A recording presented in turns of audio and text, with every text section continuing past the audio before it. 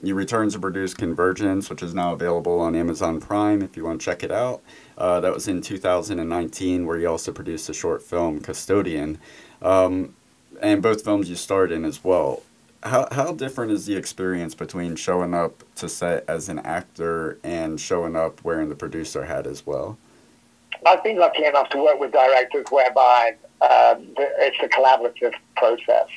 Uh, so as an actor, you get to you get to have a voice and you get to have a say uh, in in the way that the whole thing is shot and put together, and the design, and you know, uh, uh, uh, and even you know, down to the set dressing is sort of like, do you think your character would have you know these books on the shelf, or or, or do you think you would have this, or you know, what is it? What would they wear today? And and you know, looking through uh, you know, costumes and different shirts and jackets and things like that.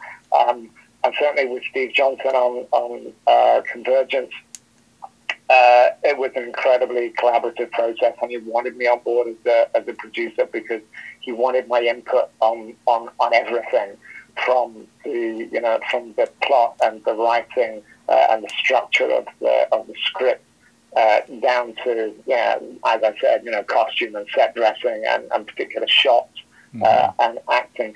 Um, it can be tough sometimes because you get too caught up in that sort of stuff and you don't do enough. You then have to remove yourself from that and then get yourself in character and think about the theme that you're actually doing uh, and try and be, you know, in the moment and spontaneous and, and feel all of those things.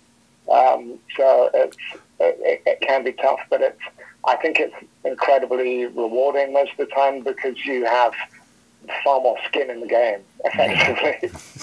Yeah. I have to say congratulations on Convergence because it's not easy to take 10 years off and then because at least from producing and acting then come back in with like you say with both your hands in the pot making this thing happen. You can't truly flesh out your character. You it's like you're trying to give all to everybody. You're responsible so for so many things. So when I find out and I do my research and I figure out that you swept film festivals a lot of them with this film, to me it's even more, you know, just something that you should be paid homage for because I know how hard it is. So talk about, you know, saying, hey, I don't know what's going to happen with this film, but I'm going to give it my all. I'm going to produce it. I'm, I'm in it. I'm doing everything. And then to see the success that it's had, how rewarding is that?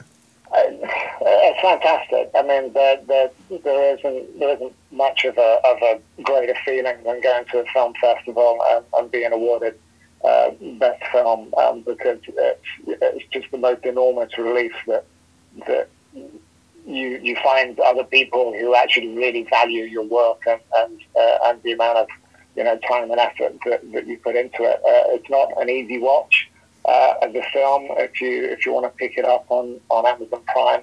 Um, uh, and I let you into a secret. It's another six thousand dollar movie as well. So um, it's, uh, it's, it's it was. Uh, yeah, it's, it's great to have people just, you know, sort of appreciate your work. Mm-hmm.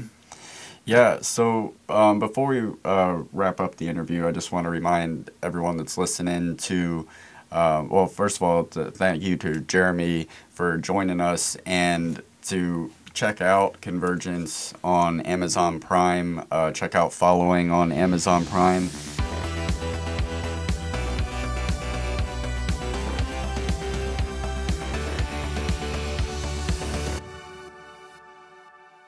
That's the para.